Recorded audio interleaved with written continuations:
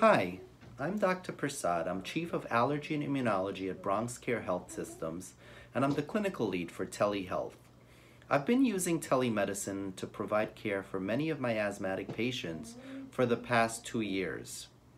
During these times, we've been almost forced to see our asthmatic patients via telehealth. If you take care of asthmatics in your private practice, hospital, or both, the process is very similar.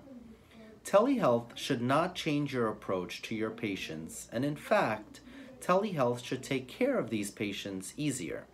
In fact, it can help with two major issues that asthmatic patients tend to have, and that is to increase their compliance and to decrease your no-show rates. It has been scientifically shown that telehealth for asthma, the outcomes are very comparable to an in-person visit. Telehealth will not replace seeing an asthmatic patient in person, but it can help you tremendously. We can now examine patients at numerous distance sites, including their home, the satellite clinics, emergency room, or even a nurse's station in a school. Just last week, I was even able to evaluate a persistent asthmatic on a basketball court in his neighborhood, and it was convenient to his family.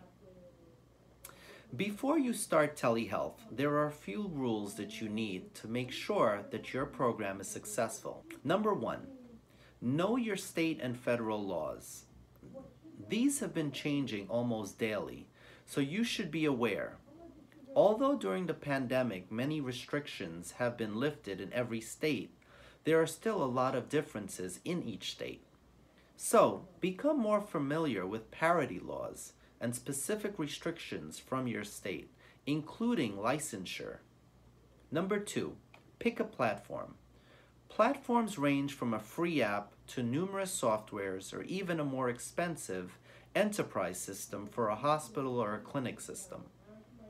Our telehealth task force previously reviewed numerous platforms, so feel free to use these free resources so that we will be more familiar with some of them. Please be aware that since there has been many new startups who now offer telehealth platforms, many are now free. Number three, invite your patients. Patients need to be invited for a telehealth visit. However, as we see telehealth becoming the new normal, many patients are now specifically requesting for these visits. I work in a large hospital system, and we are finding that a lot of patients call specifically for a telehealth visit. Either a staff member can call to confirm the appointment and pre-register the patient, or you can do it via a simple phone call. Patients should be prepped on what to expect on the call, and all insurance information should be verified. Your staff can even try to get vital signs from the patient, a pulse oximeter at home, or a blood pressure cuff reading, or a weight, or a temperature via a home thermometer may be available. After the telehealth encounter, some providers send discharge instructions via a portal, or you can do it via email or mail instructions, or even text the instructions. Although in the past we needed written informed consent, legislation has now been waived where we can now acquire a verbal consent during this pandemic. However, we are pretty sure that we will need written informed consent in the future like we previously did. Number four, prepare for the visit. For asthma, we should always review the chart before speaking to the patient so that the visit can flow. So, review previous lab work, allergic triggers, spirometry, peak flow meters, oxygen sats, etc. Some patients who are frequent ER users for asthma might invest in a home pulse oximeter or even consider writing for a grant if you're in an area where there's a high asthma morbidity rate that might provide for some home monitoring tools. Remember, when you're asking questions on HPI, it should be similar as if you saw that patient in person. So do ask about severity and control. A new patient might take longer initially so that the patient-physician relationship is properly attained. Currently, I use the asthma control tests, but there are other instruments that you can use as well. There are many apps as well that you may use and patients may use as well so that you can review with them and track their asthma status. Number five, the virtual exam. You should always observe how comfortable your patient looks on the video and investigate for any signs of difficulty in breathing. Look for signs of nasal flaring, chest retractions, or if the patient is speaking in complete sentences. Based on these measures, you can assess if the patient can be managed at home or will need further evaluation in an ER, urgent center, or a hospital.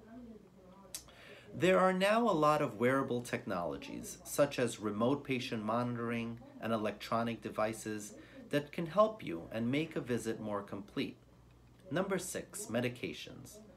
Order and review medications with the patients. Use this opportunity to clarify what medications the patients are using by ask them to simply show you on their screen. You can also see how they're using these medication and make sure that they're using it correctly. Currently, I use a double screen, so while I'm able to look at the patient, I'm also able to refill their medications or add a new medication. However, a single screen can be used just as efficiently. You can use this opportunity to evaluate your patients for home triggers. Look in their home environment and look for any type of allergic triggers. But make sure you get permission from the patient first. For patients on home biologics, you can also use telemedicine to evaluate for any type of allergic reaction they might have or evaluate how they self-administer the injectables and make sure that they're using it correctly. Number seven, billing. Don't forget, you can bill for time or you can include pertinent findings via virtual exam. That's all for now. I'm Dr. Prasad with the task force. Have a good day and be safe. Thank you.